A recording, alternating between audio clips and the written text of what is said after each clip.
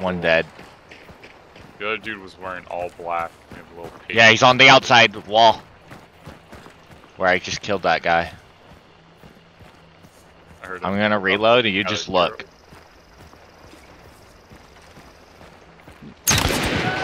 Nice. Good job. Wow.